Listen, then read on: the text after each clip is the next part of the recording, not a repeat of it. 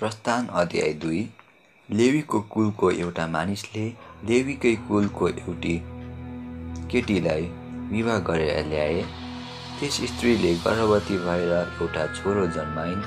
त्यस बालकलाई सुन्दर देखेर तिनले त्यसलाई तिन महिनासम्म लुकाइराखिन्।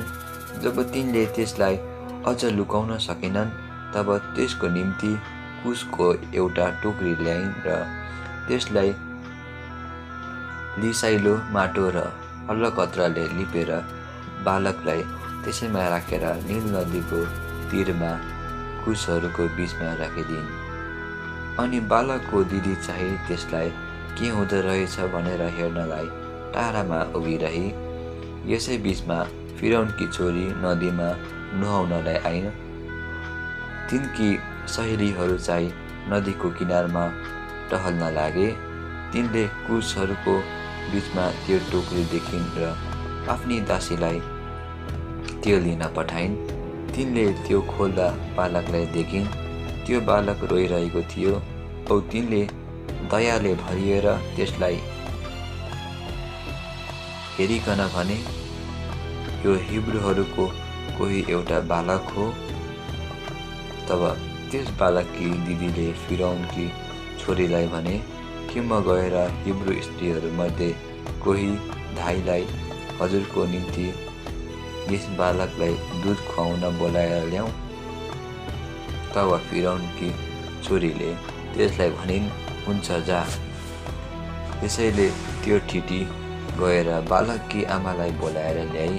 तब फिरौनकी छोरीले तिनलाई भनिन् यस बालकलाई लगेर मेरो निम्ति दुध खुवाउने गर र म तेरो ज्याला दिनेछु। त्यस स्त्रीले बालकलाई लगिन् र त्यसलाई दुध खुवाउने गरिन् बालक ठुलो भयो र तिनले त्यसलाई फिरौनकी छोरी कहाँ ल्याइन्? औ त्यो तिनको छोरो भयो। तिनले त्यसको नाउँ मोसा राखिन् किनकि तिनले भन्थिन् मैले यसलाई पानीबाट निकालेको हुँ। जब मोसा ठुलो भए तब तिनी आफ्ना भाइबन्धुहरू कहाँ गए र तिनीहरूका दुःख देखे तिनले आफ्ना भाइबन्धुहरूमध्ये एकजनालाई अर्थात् एउटा हिब्रूलाई एउटा मिश्रीले हिर्काइरहेको देखे। तब तिनले यताउता हेरेर कोही पनि नदेख्दा त्यस मिश्रीलाई मारेर बलुवामा पुरिदिए। भोलिपल्ट त्यहाँ जाँदा दुईजना हिब्रूहरू आपसमा कुटपिट गरिरहेको तिनले देखे। तिनले अन्याय गर्ने चाहिलाई भने तिमी आफ्नै मान्छेलाई किन हिर्काउँछौ? त्यसले भन्यो कसैले तिमीलाई हाम्रो मालिक र न्यायकर्ता तुल्यायो त्यस मिश्रीलाई मारे जस्तो मलाई पनि मार्न चाहन्छौ। त्यसपछि मोसालाई डराएर मनमने भने अवश्य यो कुरा फिजिन लागेछ। फिरौनलाई यो कुरा थाहा भयो र तिनले मोसालाई मार्ने विचार गरे। तब मोसा फिरौनदेखि भागेर मिदान देशमा गए र त्यहाँ एउटा कुवानेर बसे। मिदानका पुजारीका सातजना छोरीहरू थिए। तिनीहरू त्यहाँ पानी भर्नलाई आए र आफ्ना बाबुका भेडा बाख्रालाई पानी खुवाउन डुड भर्न लागे। यसै बिचमा गोठालाहरू आएर तिनीहरूलाई धपाउन लागे तर मोसा उठेर यिनीहरूलाई गुहार गरे र यिनीहरूका बिच बाख्राहरूलाई पानी हालिदिए। तब तिनीहरू आफ्ना बाबु रुएल कहाँ आए? तब उनले भने तिमीहरू कसरी आज यति चाँडै आयौ?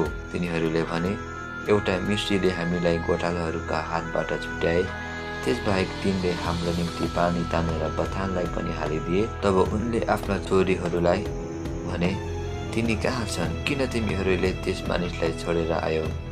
जाओ र हामीसित खाना तिनलाई बोलेर ल्याऊ तब मुसा त्यस मानिससित बस्न राजी भए उनले आफ्नी छोरी सिपोरा चाहिँ मुसालाई दिए। सिपोराले एउटा छोरो जन्माइन् र मुसाले त्यसको नाम गेस्रोम राखे। किनकि तिनले भने म विदेशमा प्रवासी भएर बसेको छु। अनि धेरै दिन बितेपछि मिश्रका राजा मरे। औ इजरायली जातिले दास्तत्वको कारण सुस्केर हालेर पुकारा गर्न लागे।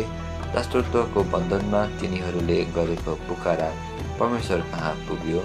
परमेश्वरले तिनीहरूको सुस्केरा सुन्नुभयो र अब्राम इसाक र याकुबसित गर्नुभएको आफ्नो करार सम्झनुभयो अनि परमेश्वरले इजरायलीहरूमाथि नजर गर्नुभयो र उहाँले तिनीहरूको अवस्था थाहा पाउनुभयो।